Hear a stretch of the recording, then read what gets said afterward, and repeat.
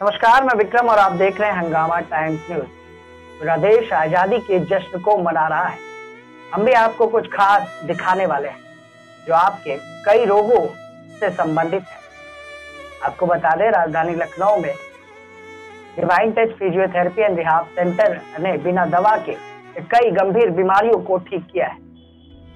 जिन्होंने इस अमृत महोत्सव रक्षाबंधन के पर्व को लेकर शुभकामना संदेश भी दिया और ये भी बताया कि किस तरह से वह बिना दवा के, गंभीर से गंभीर बीमारियों का इलाज किस तरह से कर रहे हैं और क्या क्या उनकी बड़ी उपलब्धि रही। इस मौके पर हमने वहाँ के लोगों से भी बात जो रेहाब सेंटर में ट्रीटमेंट कराने आए थे, जिन्होंने तरह की समस्या से वो जूझ रहे थे और आज उन्हें इस सेंटर में आने के बाद राहत मिली। क्या आप भी हैं रोगों से परेशान?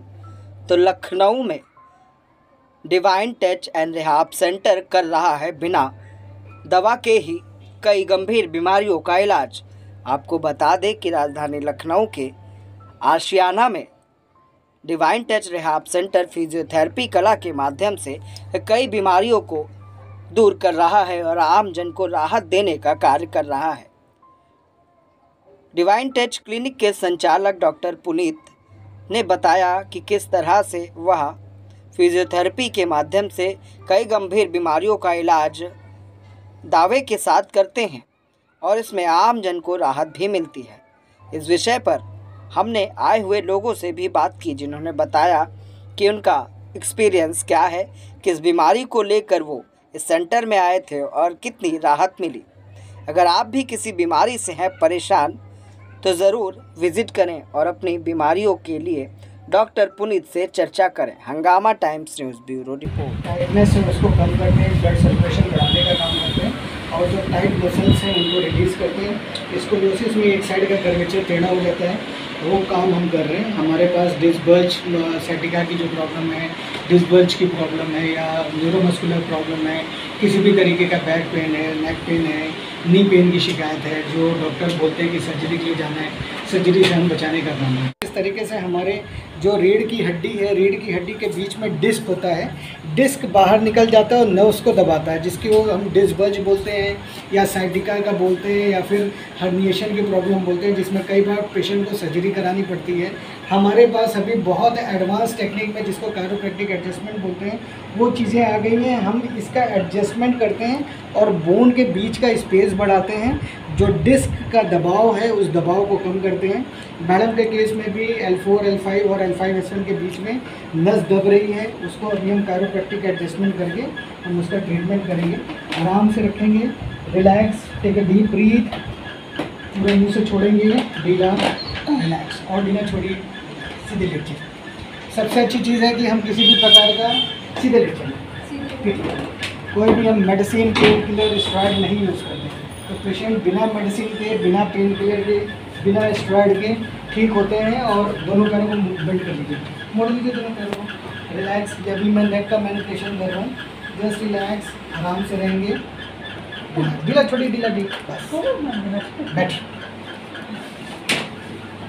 मेरा नाम किरण भटनागर है। आ, मैं काफ़ी सालों से अपने कमर के दर्द के लिए परेशान थी। अभी एमआरआई से पता चला कि मेरा L four L five S one problem कर रहा है। तो मैं डॉक्टर साहब के पास आई हूँ। और पहले दिन ही जिस दिन मैं फ़र्स्ट मेरा एक्सपीरियंस है जिस दिन मैं आई थी उस दिन आ, मेरे दर्द काफ़ी था लेकिन सिक्सटी परसेंट इमीडिएटली उसी दिन ही मुझे आराम हो गया था। और मैं रेगुलर ट्रीटमेंट में हूँ। तो काफ़ी अच्छी थेरेपी भी है और डॉक्टर साहब का बिहेवियर भी बहुत अच्छा है। और यहाँ पे जित नहीं, कोई दवा नहीं, कोई मेडिसिन नहीं, सिर्फ़ थोड़ा सा ये लोग जो भी एक्सरसाइज या मशीन्स वगैरह लगाते हैं, उसी से ही काम हो रहा है। थेरेपी मैंने नौ या दस ली है टोटल अभी तक, ज़्यादा तो नहीं लिए लेकिन उससे मुझे पहली दूसरी थेरेपी से पता चल गया था कि ये वर्क करेगा। मेरा नाम प्रेम प्रकाश है। फ़र्स्ट ऑफ़ ऑल मैं डॉक्टर साहब के बारे में कहना चाहूँगा कि he understand the problem properly and after the diagnosis he suggests proper therapy and uh, मेरा स्पाइनल स्पाइनल प्रॉब्लम है और मेरा कर्वेचर हो गया था लेफ़्ट साइड में so since last approx nine month I am suffering So somebody suggested me to go here. So I came here. तो sir से मुलाकात होने के बाद मेरे को ही और गिव मी टाइम थारोली मेरे को चेक किया। और उसके बाद एक जो सजेस्टेड थेरेपी है वो हम कंटिन्यू उसको फॉलो किया जा रहा है। तो not a monotonous therapy day basis पे थेरेपी क्या ट्रीटमेंट आज रिक्वायर्ड है प्रॉपर असेसमेंट होता है कि अभी क्या देखिए परिवर्तन में पेन की अगर बात करूँगा तो मेरा पेन 50 टू 60 परसेंट रिलैक्स है। जो मैं कर्वेचर की बात है तो मैं जब चलता था तो मेरे को थोड़ा टेढ़ा होकर चलता था। अभी भी चल रहा हूँ, लेकिन अभी मैं ये फील करता हूँ कि मैं 40 परसेंट राइट चल रहा हूँ।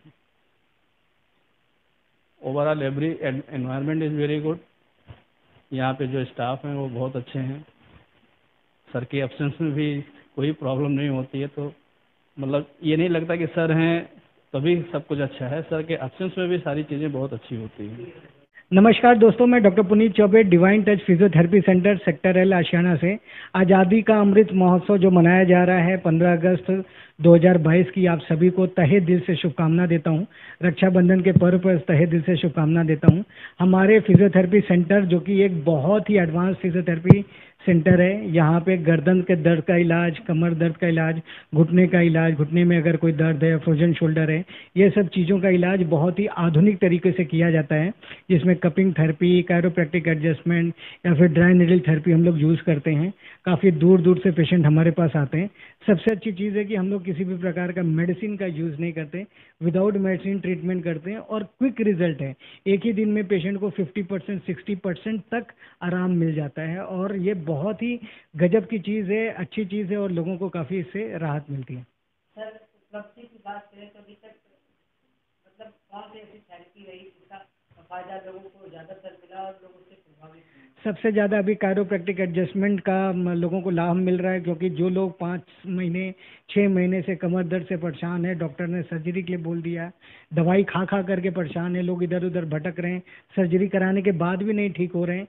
वो सारे पेशेंट अगर हमारे पास में आ रहे हैं तो बिना मेडिसिन के, बिना सर्जरी के और दो से तीन सिटिंग में ही उनको काफ़ी आराम मिल जा रहा है, जिसका अभी ये कायरोप्रैक्टिक एडजस्टमेंट बहुत ज़्यादा चलन है। और हम इसके ऊपर वर्कशॉप भी लेते हैं ऑल ओवर इंडिया में अभी हमारा दो दिन पहले बॉम्बे में वर्कशॉप था, जिसमें ऑल ओवर इंडिया से डॉक्टर्स आए थे। दो दिन बाद हम दिल्ली जा रहे हैं, दिल्ली में भी हमारा वर्कशॉप है। इसके हम इंस्ट्रक्टर भी हैं, लोगों को डॉक्टर को पढ़ाते भी हैं और मरीजों का इस जो आधुनिक थेरेपी है, इससे ट्रीटमेंट भी करते हैं और क्विक रिज़ल्ट है इसका। ज़्यादातर लोगों को लो बैक पेन और गर्दन की दर्द की शिकायत ज़्यादा है। लोग मोबाइल का यूज़ ज़्यादा कर रहे हैं लैपटॉप का यूज़ ज़्यादा कर रहे हैं। लॉकडाउन के बाद से लोगों का कमर दर्द की समस्या काफ़ी ज़्यादा बढ़ गई है। लैक ऑफ़ न्यूट्रिशन है, लोगों को अच्छा खान पीन नहीं मिल रहा है, जिसकी वजह से उनको लैक ऑफ़ न्यूट्रिशन है और लैक ऑफ़ न्यूट्रिशन की वजह से बैक पेन और नेक पेन बहुत ज़्यादा सता रहा है और लोग उससे परेशान हैं। हमारे पास आइए, इस सब चीज़ों से अपनी मुक्ति पाइए और बेस्ट मैनेजमेंट आपको